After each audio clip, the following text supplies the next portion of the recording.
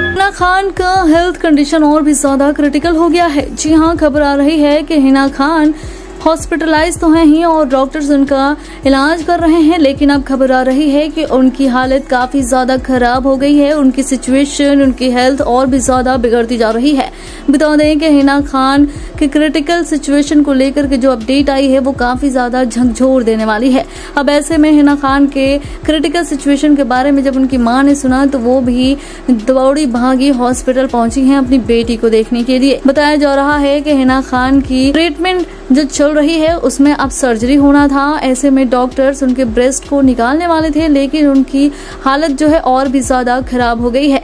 ऐसे में डॉक्टर्स की टीम का ये भी कहना है कि हिना खान ने शुरुआती दिनों में अपनी बीमारी को लेकर के उन्होंने काफ़ी नजरअंदाज किया, जिस वजह से उनकी ये बीमारी बढ़ती चली गई। उन्होंने दवाइयाँ लेकर के ही अपने पेन को खत्म करने का काम किया और उन्होंने अगर वक्त रहते चेकअप करा लिया होता तो उनकी ये बीमारी इतनी ज़्यादा ना फैली होती।